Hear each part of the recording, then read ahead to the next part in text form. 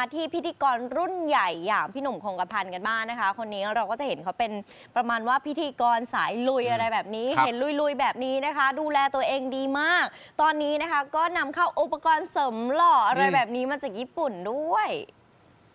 หนุ่มสมชื่อจริง ๆ ค่ะ พิธีกรคนเก่งหนุ่มคงกระพัน เห็นอย่างเนี้ยไม่บอกใครจะไปรู้ว่าอายุปาเข้าไป 44 แล้ว แถมเจ้าตัวยังไม่ห่วงเคล็ดลับ เปิดหมดเปลือกว่าที่ดูดีแบบเนี้ย ก็เพราะทุ่มทุนสั่งเครื่องทำน้ำวนแบบเดียวกับอ่างจากุชิ จากต้นตำรับประเทศญี่ปุ่นมาไว้ที่บ้าน เพื่อบำบัดผิวพรรณให้ดูดีจากภายในสู่ภายนอกกันเลยละค่ะ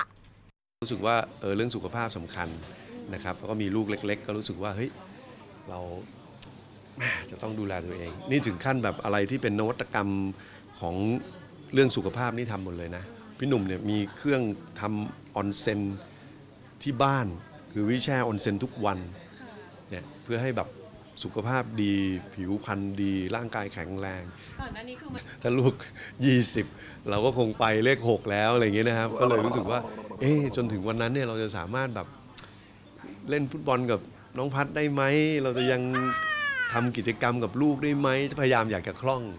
ดูแบบผู้ชายแบบฝรั่งอะไรเงี้ยนะ อายุ 60 70 แล้วยังสมาร์ท ยังแข็งแรง ยังเล่นกีฬาได้ ก็อยากเป็นอย่างนั้น